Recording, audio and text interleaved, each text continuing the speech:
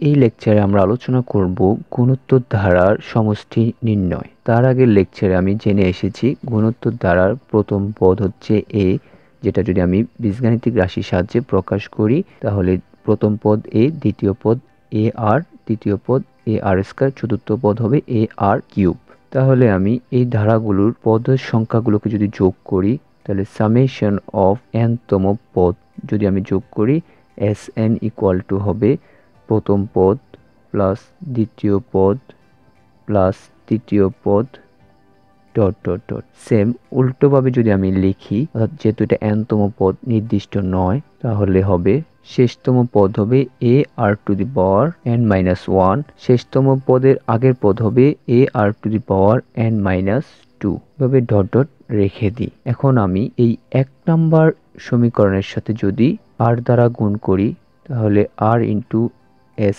N অর্থাৎ প্রত্যেকটা পদের সাথে আর দ্বারা গুণ করে দেব। এখানে আর দ্বারা গুণ করলে আর স্কোয়ার এবং এখানে আর দ্বারা গুণ করলে আগে ছিল আর স্কোয়ার এখন আর কিউব হয়ে যাবে।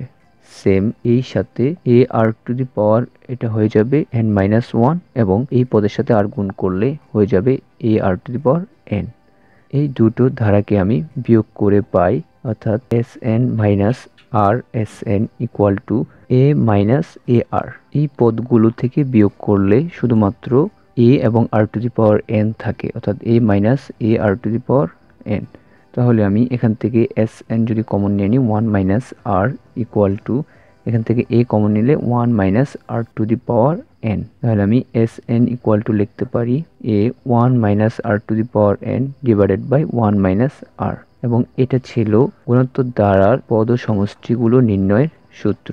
এবং এটা হচ্ছে যখন আর এর ভ্যালুটা একের থেকে ছোট, এই সত্ত্বে এই সূত্র।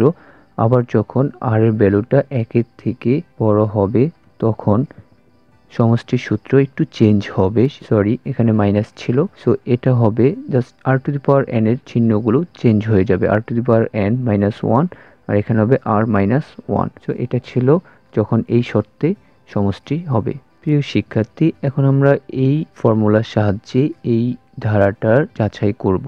তার অর্থ আমি যদি এখানে প্রথম পদ, দ্বিতীয় পদ, তৃতীয় পদ, চতুর্থ পদ। এই চারটা পদের যোগফল সমান কত হয় সেটা যদি জানতে চাই, তাহলে চট করে এটা ক্যালকুলেশন করে বলে দিন। অর্থাৎ দুই যোগ চার যোগ আট যোগ ষোলো হলে কত হয়? তাহলে যোগ করলে হবে ত্রিশ। এবং এটা আমরা খুব ইজিলি ক্যালকুলেটরের সাহায্যে করতে পারি, যেহেতু একটা ছোট একটা গুণোত্তর দ্বারা তাহলে যদি এরকম জটিল একটা গুণোত্তর দ্বারা দেওয়া থাকে, এভাবে যদি গুণোত্তর দ্বারা চলতে থাকে আরও অনেকগুলো পদ সংখ্যা থাকে সেই ক্ষেত্রে আমরা যোগ করতে ক্যালকুলেটর ইউজ করতে কষ্ট হবে। তখন আমরা এই সূত্রগুলোর সাহায্যে সমষ্টি নির্ণয় করব। ধরে নেন, এই গুণোত্তর ধারার সমষ্টি কত হবে? আমরা সূত্রের সাহায্যে যদি নির্ণয় করি এস এন যেহেতু আর এখানে এই ম্যাথের এ হচ্ছে দুই আর হচ্ছে দুই, তাহলে আর হচ্ছে একের থেকে বড়। তখন আমরা এই সূত্রটা অ্যাপ্লাই করব।